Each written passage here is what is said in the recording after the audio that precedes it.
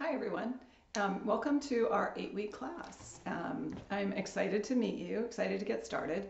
Um, and I just wanted to take a few minutes um, at the beginning of the semester to um, tell you just a couple of things about the course, it's just in a really general way, um, and strategies that I've seen that have worked for students in online courses in general and in the uh, compressed schedules in particular. Um, so um, the first thing I want to point out is um, each week you've probably navigated around in Blackboard and so you've seen what the general layout is. Um, each week there's going to be a checklist in Blackboard and I would encourage you to look at all parts of that checklist early in the week. Um, I think sometimes students, or I know that sometimes students will use the calendar function in Blackboard or the My Grades page in Blackboard to see what's due um, and get reminded of things in that way. But not everything that's due in this class is going to be listed. Not everything is graded, um, but sometimes things are connected, and unless you've done all the parts, um, you won't be able to do the graded part. And so I would encourage you to use the checklist. Um, I try really hard to make the checklist, everything that's in the in the course for that week um, is in the same order that's in the checklist. So if you're looking for something in the checklist, um, and don't seem to be finding it, look at the thing before it and after it, and then look down and find those things, and it should be in between there. If it's not, let me know. Um, sometimes when I'm posting things um, over the weekend, I don't always realize that they're not visible to students yet, and um, I try and turn everything on, and if I miss something, I'd like to know. So um, there's usually one student who uh, does it uh, every week, um, catches the things that I miss, and I love that student. So if you're that student, bring it on, um, because it fixes it early for everybody else, and then instead of inconveniencing 20 people who are trying to look for something, um, I've just I've fixed it after the first person. So hopefully there won't be those things, but you never know. Nobody's perfect.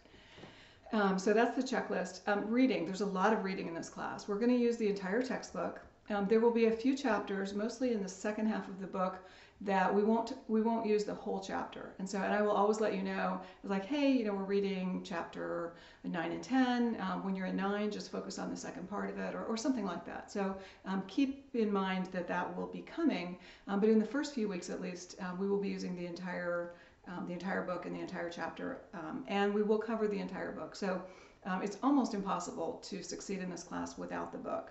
Um, having said that, if you have access to the previous edition of the book um, through a used copy um, and you're concerned about that, um, let me know. Tell me what book you have. But um, in general, um, if you're using the edition that's one below the one that we're currently using, you should be fine.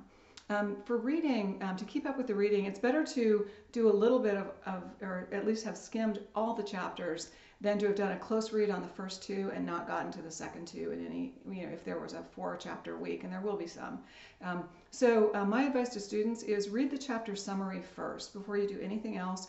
Read the chapter summary first, then go back to the chapter and skim it as quickly as you possibly can. And this isn't just a strategy for this class, it's for other classes as well. Skim it as quickly as you can. Um, and then read the chapter summary again and see whether there are things in that summary that you're still not super clear on. And those are the things that you should go back and study um, rather than doing a close read word for word, paragraph by paragraph through the whole thing. Um, there's a lot in this course, and there's a lot that I'm never going to hold you responsible for. Just because a study was cited and it talked about something that uh, we found in 2014 doesn't mean that I'm going to ask you to repeat that thing um, or, or to retain that thing. Um, even I can't retain all those things. There's a lot in a textbook. Um, but I try to um, hit the high points. Um, you can use the uh, PowerPoint slides as a note-taking tool if it's useful to you. Um, you don't need to study the PowerPoint slides, but if, you know, I know that when I'm reading a chapter for the first time, I print them out and take notes in the margin. so if that's helpful to you, the, the, PowerPoint slides will be out there for you. the discussions are low stakes. some people hate discussions, and I used to hear that a bunch, and so there were some semesters where I took the discussions out, and then people said, "Oh no, we missed the discussions. Bring back the discussions." So the discussions are back, um, but they're low stakes. Um, they're a relatively small part of your grade. Um, you have um, uh, you know, you'll have things that I ask you to do. It's not a huge writing assignment, but um, I'll ask you to answer a question or to give your opinion on something or to tell me something that you observed or tell your students, your fellow students, and then respond to several of your of your classmates. It shouldn't take you a long time. I don't imagine that you couldn't complete the entire discussion board in 15 or 20 minutes at the most. Um, and some weeks, not every week, but some weeks there will also be a live option. So instead of doing a written discussion, you can connect um, in Adobe Connect and I'll have a live session where you can use audio or video or chat or all three. Um, and we can talk about this, those same things or anything else that students want to talk about in that same way. So um, stay tuned for those. I'll send the links out Um, they'll be posted in the um, in the weekly checklist, and I'll also send out a reminder usually on the day of the discussion. Um, email, um, you can always email me with questions. Um, there's a Q&A forum, uh, and I encourage you to use that um, if it's a question that somebody else might also want the answer to. So if you're talking to me about yourself, send an email. But if you're asking about something about an assignment or asking me to clarify something about um, the paper or you know some other or something in psychology, um, you know use the Q&A forum if you can because then uh, other people will be able to see that. Will be able to see that as well.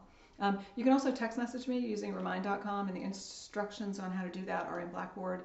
Um, and I won't see your telephone number and you won't see my telephone number, um, but it enables you to send me a short message and I can text you back. And time of day doesn't matter to me. Um, if you text me at 3 in the morning, uh, if I'm up, I might answer you, but uh, it's unlikely that I'll be up. Usually um, I'll just respond the next time I have my phone in front of me, which is a lot, like everybody else. So, and I don't mind at all if you text me. Um, just keep the questions relatively short. If you have a long, detailed question, that's probably more appropriate for an email, um, but, uh, but I don't mind getting text, so don't hesitate.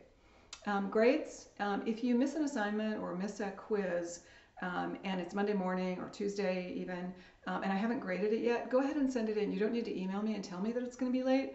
Um, if you can beat me to the grade book, then I'll grade it for full points. Um, I don't take any joy in, uh, in putting zeros into the grade book. Um, what I like is to give good grades, um, especially when they're earned or only when they're earned. But um, so the, the first thing I do is grade all the assignments for the week and then I put in the zeros. So if you can beat me to that, then just go ahead and do it. You don't need to give me any kind of an explanation. The only time that you can't do that is for the major paper. Um, there is a you know, there's a two day grace period and then and then there's a penalty phase or not a penalty but a deduction for late papers. Um, and that's that will be in the assignment. You'll know what that is. Um, and the other thing that can't be made up is um, discussions um, because there's no one left in the room, right? So there's no point in posting to a discussion that nobody's going to read.